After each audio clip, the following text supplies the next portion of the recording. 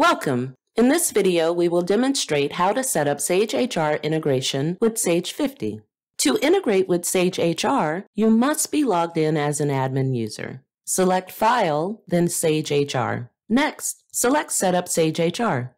Alternatively, in the Employees and Payroll module, click on the Online Payslips icon drop-down menu to access Sage HR related options, including Setup Sage HR.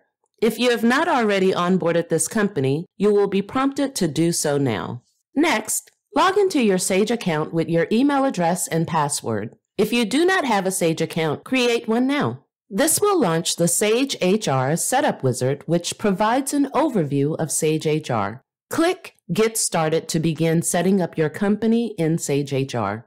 When complete, you will see a summary of next steps and post setup options. Click Next to establish your employee sync settings. First, select your preferred name format when downloading new employees from Sage HR. Then, select your preferred sync settings for future changes to employee records.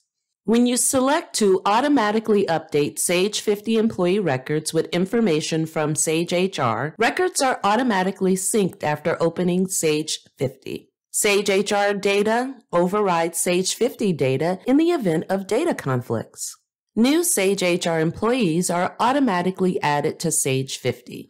When you select to manually sync and update employee information in Sage 50, records are not automatically synced after opening Sage 50. After making your selections, click Next to establish your delivery settings. Here, you will select when to upload payslips to Sage HR for online access. When you select automatically upload payslips right after processing paychecks, which is the recommended method, you can see what to expect. Payslips are automatically uploaded to Sage HR when users with rights to upload payslips process paychecks. Payslips for adjustments are automatically uploaded after processing to replace the existing ones. Employees can access and review payslips immediately after uploading.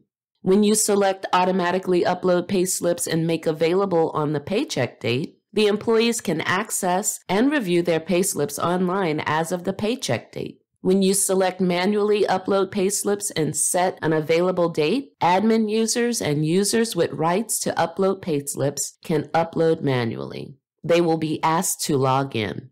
Click Finish when complete. Sage 50 is now integrated with Sage HR. You can see the admin information and link to Sage HR. You can now let other Sage 50 users manage employee records synced with Sage HR and upload payslips. You can see your delivery method as well. Click Close. Congratulations! You now know how to set up Sage HR integration. Thank you for taking this Anytime Learning topic.